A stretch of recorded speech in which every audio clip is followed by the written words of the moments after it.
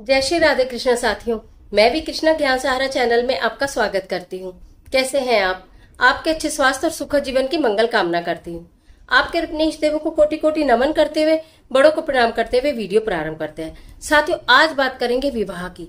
अगर बहुत सारे उपाय करके थक गए हैं, बहुत पूजा पाठ करके थक गए हैं, कुंडली मिला के थक गए हैं, कोई ग्रह दोष समझ में नहीं आ रहा है, कोई कुंडली दोष समझ में नहीं आ रहा है, लेकिन फिर भी विवाह नहीं हो पा रहा है। तो फिट करी से मात, फिट करी से ऐसा क्या महा उपाय करें कि विवाह के योग बनने प्रारंभ हो जाए और तुरंत विवाह के लिए आपका मन चाह रिश्ता आपके द्वार पर आ जाए।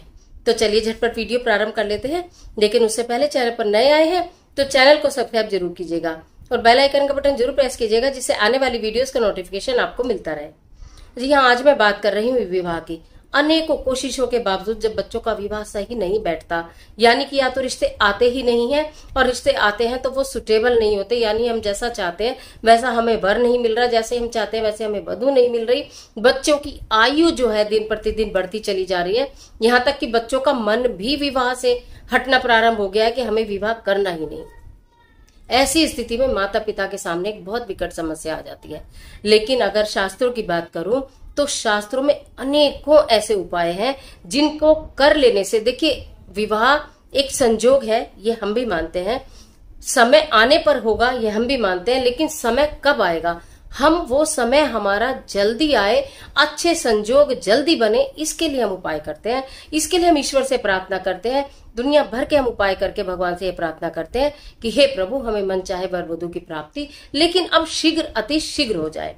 तो उसके लिए आपको करना क्या है? इस उपाय को माता कर सकती है, इस उपाय को पिता कर सकते हैं, इस उपाय को लड़का स्वयं कर सकता है, इस उपाय को लड़की स्वयं कर सकती है। पीरियड में, सूतक में, पातक में ये उपाय नहीं करना है। या इसमें बस एक ही कंडीशन है कि जो लड़कों के लिए ये उपाय सोमवार को करना है और लड़कियों के लिए ये उपाय शुक्रवार को करना है। इस वीडियो को थोड़ा सा आपको ध्यान से समझना और देखना पड़ेगा, जिससे कि आपको चीज़ें बिल्कुल क्लियर हो जाए। बहुत छोटा सा उपाय है यूँ तो एक ही बारी में आपको समझ में आ जाएगा।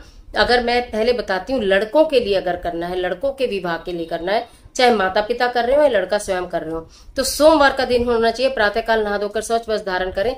थोड़ा सा आपके पास फिटकरी का पाउडर होना चाहिए।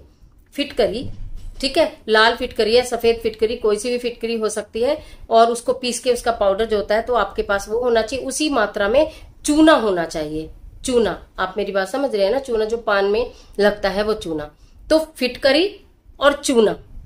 ठीक है इक्वल इक्वल सपोज़ आपने एक चम्मच फिटकरी का पाउडर लिया तो एक ही चम्मच चूना लेना, आधी चम्मच फिटकरी का पाउडर लिया तो आधी चम्मच चूना लेना, इसमें कोई बंदिश नहीं है कि आपको कितना लेना है। सफ़ेद रंग के कागज़ में बांधकर उसकी पुड़िया बना लेनी है। ठीक है, उसे लेकर आपको बड़ के वृक्ष के नीचे या आक के पेड़ के नीचे। मतलब यह कंडीशन है थोड़ी सी, क्योंकि देखिए जब हमें मन मांगी मुराद चाहिए, यानी कि हमारा हम बहुत दिन से जिस चीज़ के लिए परेशान है, अगर हमें वो चाहिए तो थोड़ा सा प्रयत्न करना पड़ेगा। आपको बड़ का पेड़ देखना पड़ेगा, यानी जिसे बट वृक्ष भी कहते हैं, यानी बरगद का पेड़ भी कहते हैं। उस पेड़ को आप ढूंढिए कहा है, नहीं तो आग का पेड़ ढूंढिए। प्रातः काल ये उपाय करना है, शाम को ये उपाय नहीं करना है। तो सुबह सुबह आप जाएँगे, अपने हाथ में वो पुड़िया जो आपने बनाई है, वो लेकर जाएँगे। अगर माता पिता जा रहे हैं तो भी और लड़का स्वयं जा रहा है तो भी। उस वृक्ष के निकट जाकर आपके हाथ में वो पुड़िया होगी और आप उसके बाद अपने मनी मन ये प्रार्थना करेंगे कि क्या हमारे विवाह में आखिर क्या अड़चन आ रही है? आखिर ऐसा कौन सा कुंडली दोष है? ऐसा आखिर कौन सा ग्रह दोष है जो किसी भी उपाय से नहीं कट रहा? तो वो इस उपाय से कटेगा। और आपके विवाह के मार्ग के जो मार्ग है वो प्रशस्त होगा। तो अपनी मनोकामना ऐसे कहते हुए कि आपका क्या कष्ट आ रहा है, आप अपना नाम बोलेंगे, अपना गोत्र बोलेंगे। आप अगर बच्चे कर रहे हैं तो अपने माता पिता का नाम बोलेंगे, जिस स्थान पर रहते हैं वो स्थान बोलेंगे। और अगर माता पिता कर रहे हैं तो वो अपना नाम बोलेंगे, अपने बच्चे का नाम बोलेंगे, उनकी आयु भी बोलेंगे। उसके पश्चात सात परिक्रमा आपको उस वृक्ष की लगानी है, हाथ में पुड़िया लेकर ही। राइट हैंड में आपके पुड़िया होगी। सात परिक्रमा लगानी है। मनी, मन मनी, मन आपकी जो इच्छा है उसको कहते हुए कि किस प्रकार की बाधा आपके विवाह में आ रही है, किस प्रकार की आपकी इच्छा है विवाह करने की। उसके पश्चात जब सात परिक्रमा पूरी होंगी तो उसी पेड़ के नीचे उस पुड़िया को थोड़ा सा खोद के या गड्ढा करके थोड़ी सी मिट्टी हटाकर और उसको दबा दीजिए। बस वो दिखनी नहीं चाहिए।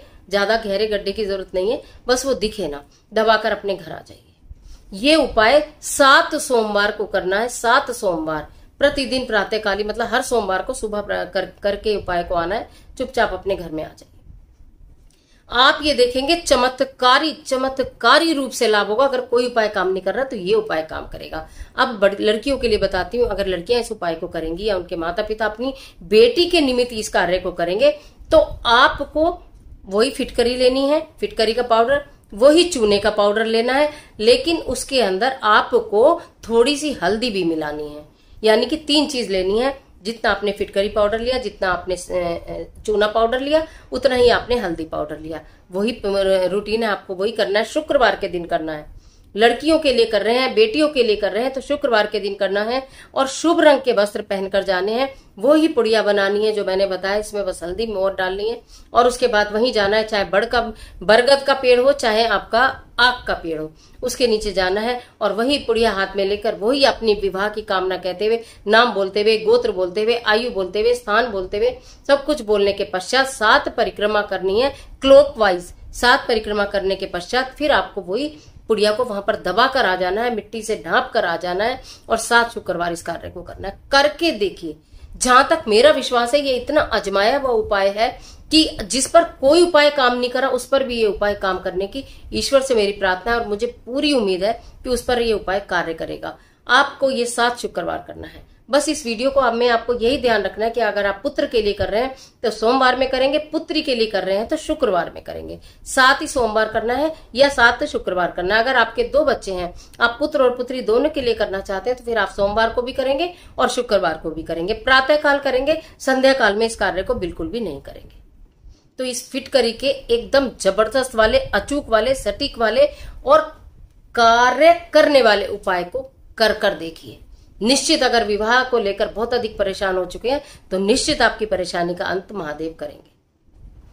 तो आज के लिए इतना ही। इजाज़त दीजिए। मिलती हूँ एक और ज़बरदस्त वीडियो के साथ। तब तक हँसते रहिए, मुस्कुराते रहिए, अपना और अपने अपनों का ख्याल कीजिए। वीडियो अच्छी लगे तो लाइक कीजिए। जितना चाहे से शेयर कीजिए। जिसको ज़रूरत है उसे इस वीडियो को ज़रूर भेजिए। और कमेंट बॉक्स में ओम नमः शिवाय, जय माता दी, जय बजरंग बली राधे राधे। कुछ भी लिखे लेकिन लिखे ज़रूर। ईश्वर आपकी मदद करे।